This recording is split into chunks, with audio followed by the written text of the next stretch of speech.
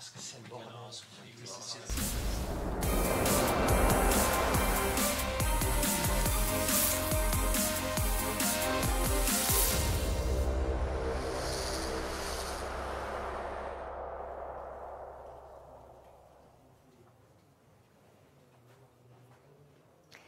Welcome back to Solar Impulse TV, live from the Mission Control Center in Monaco. My name is Kari Lundgren, and it is a pleasure to welcome you back.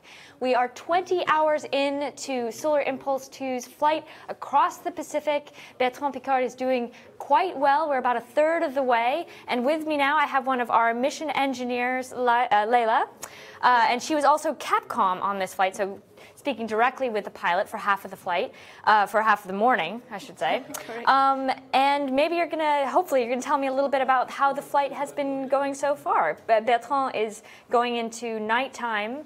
Uh, uh, yeah. there and yeah he's so how's it going he's currently middle of the night at his position so um, he the night is quite long so we have to um, proceed uh, the whole loitering altitude at about 5000 feet so he's at 5000 feet and sleeping resting trying to relax and to get to get as much sleep as possible um, at the first stage of, of this flight so um, when we descended and we tried that the pilot can sleep, it was uh, quite difficult to find a spot where we have calm air that the um, or zooming in here that the uh, autopilot can work. So at a certain stage, a certain stage of turbulence level, the autopilot is not able to handle the aircraft anymore, and so the pilot cannot sleep. Actually, this is a good chance. What, tell me a little bit about the autopilot on Solar Impulse. It isn't your standard autopilot, is it? No, it's actually a stability, a stability augmentation system.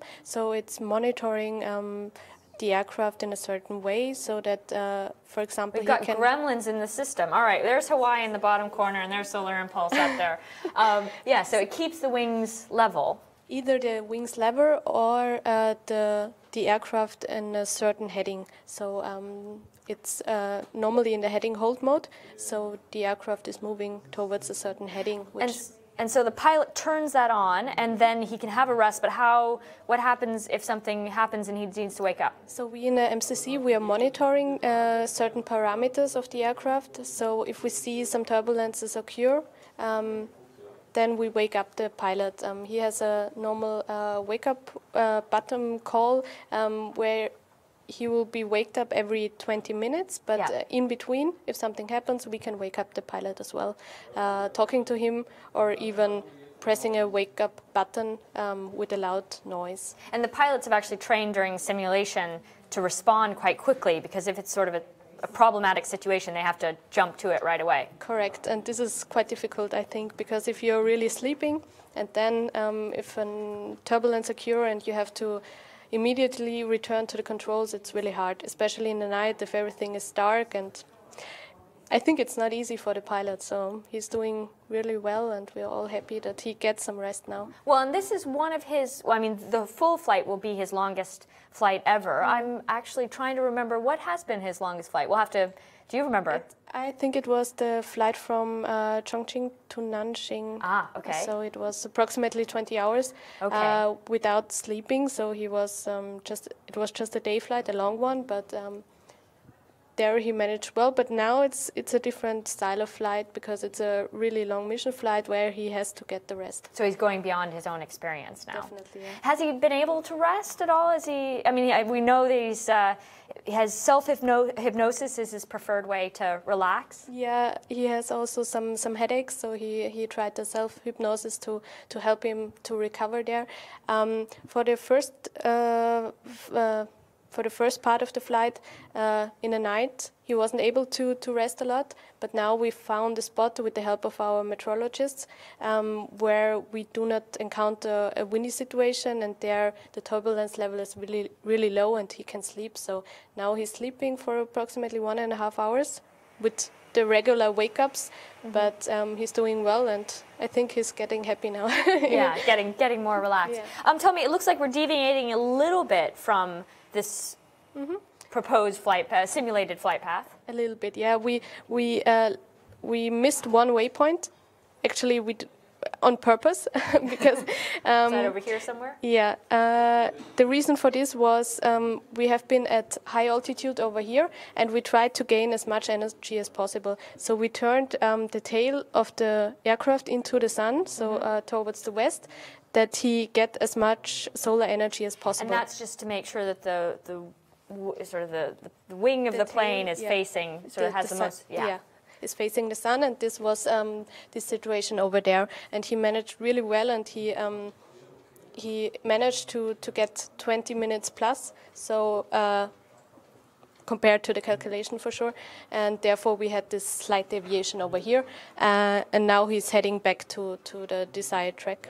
And it's well, working. we're about a third of the way. Maybe we can see the plateau chart, which we were looking at last night with uh, Michi, who's one of the flight directors. Here we go. Um, so maybe you can point out where we are on this chart at this point. Um, currently, we are approximately here. So again, this is the altitude of solar impulse. This is the energy.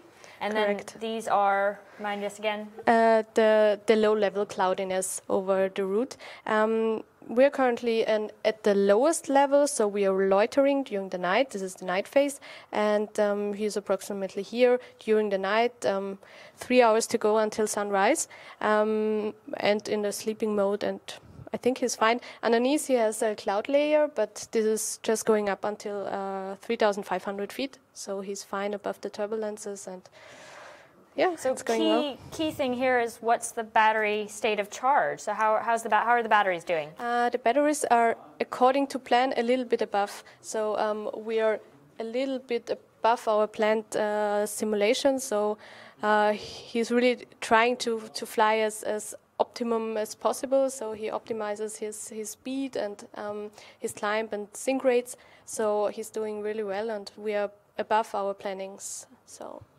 So there's all these. I mean, because that's really what you know when you're flying Solar Impulse. It's all these different factors that you have to Definitely. bring in. Because if you can you can fly a little bit higher and get more energy and potential energy, but then yeah. it uses more battery power. So it's all these all these things that you guys are having to calculate and do here. It's Yeah. tricky. Yeah, uh, we are a little bit uh, below our altitude profile, but we are, we are well above our our uh, battery state of charge. So um, that's fine for us because um, bat- battery energy is much more worth than altitude. So we are happy with this uh, solution and and this um, yeah this status now. Excellent. Well, you're just in the briefing now. Any sort of updates on what's what to come on any challenges? Is landing still looking pretty good?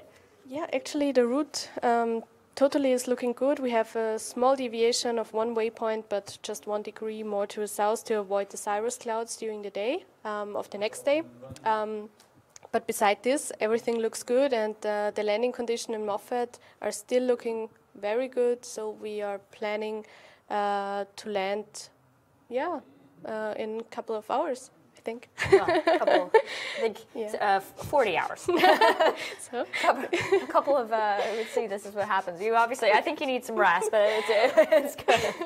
There we go and this is actually yeah I'll zoom in on the on the uh, on the airfield itself. This is so southeast of san francisco i was uh, i was being very simplifying oversimplifying yesterday. So southeast of san francisco in the heart of silicon valley that is moffett airfield a very historic special airfield uh, in yeah and during day, it's it's a quite windy region, but um, when the sun sets, it's getting really calm there. And this is this is our point where where we're aiming for the landing. So it's looking good, and uh, we do not expect a lot of cloudiness.